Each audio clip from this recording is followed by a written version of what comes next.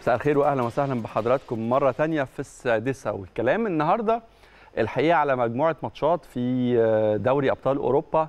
والدوري أبطال أوروبا وعدد كبير جدا من أنديته. الحقيقة بقى ليها قاعدة جماهيرية كبيرة جدا في مصر. الحقيقة يمكن زي ما بقول لحضراتكم أنا تقريبا من يعني من مدرسة ال ال إنه لما بيبقى في ماتش كورة يبقى في حالة صراع. يعني حتى كنت بشجع فريق من اللي بيلعب أو ما كنتش بشجع. لكن أتكلم على متعة المشجع في الكورة. إن يشوف ماتش سخن يشوف هجمة هنا وهجمة هناك يشوف حالة صراع لغاية الدقيقة 90 حالة الصراع دي مش بالضرورة يوفرها أسماء كبيرة جدا. يعني أنا في أوقات كتير جدا بشوف بشوف ماتشات لفرق مغمورة فرق ما حدش يسمع عنها حاجة بس بيبقى فيها كورة حلوة جدا بيبقى فيها حالة ندية وحالة صراع طول الوقت. تحس إنك أنت موجود جوه الملعب مع اللعيبة. تحس إنك أنت بتجري في كل سبرنت وبتعمل تراي على كل كرة. يعني بتحس إنك عايش جو الكوره فعلا يعني. وده الحقيقة النهارده بيحصل في دوري أبطال أوروبا. إذا كنت من عشاق الفرق الجماهيرية يعني أنت بتحب مثلا تتفرج على البارسا ايا كان البارسا بيلاعب مين أو كنت تحب تتفرج على اليوفي ايا كان اليوفي بيلاعب مين فالاثنين النهارده عندهم ماتشات بس ماتشات خفيفة ماتشات مش من العيار الثقيل زي ما بيقولوا. آآ آآ اليوفي هيلاعب دينامو كييف النهارده دينامو كييف والبارسا هيلاعب فرينكيفا طبعا زي ما قلت لحضراتكم في عندنا نجوم من العيار الثقيل في البارسا واليوفي لكن على الناحية الثانية مش هتشوفوا يعني. ما أعتقدش انكم ممكن تشوفوا ندية قوي أو حالة الصراع اللي كنت بتكلم عليها في في في الماتشات دي.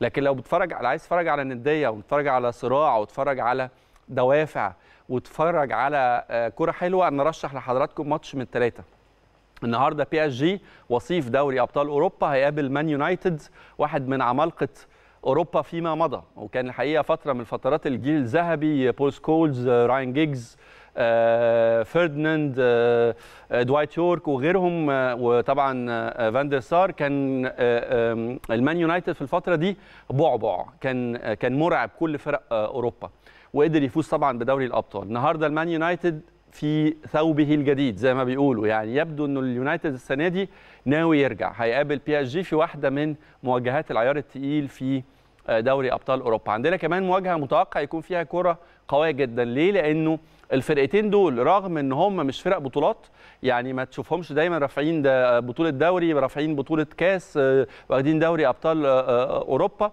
لكن فرق قوية وبتقدم دايما كرة حلوة ودايما تلاقي في صفوفهم نجوم. عندنا مواجهة بين دورتموند ولاتسيو الإيطالي دورتموند الألماني بروسيا دورتموند الألماني ولاتسيو الإيطالي. وعندنا مواجهة كمان تشيلسي وسيفيا أو تشيلسي واشبيليه الأسباني. ودول برضو من الفرق اللي أتوقع أو المباريات اللي أتوقع إن شاء الله إن نشوف فيها كورة حلوة. زي ما قلت لحضراتكم واحدة من النقط الإيجابية لفكرة تلاحم المواسم إن إحنا ما بنشبعش كورة والكورة مستمرة دايما. عندنا مواسم كتيرة جدا سواء بطولات محلية بقى ليها جمهور في مصر زي الدوري الإنجليزي وزي الدوري الأسباني وزي الدوري الإيطالي بدأوا بالفعل. عندنا Champions League كمان واحدة من أهم بطولات إن لم تكن أهم وأقوى بطولة كرة قدم على وجه الكوكب كله بدأت بالفعل. وأتمنى إن شاء الله أنكم تستمتعوا باللقاءات دي.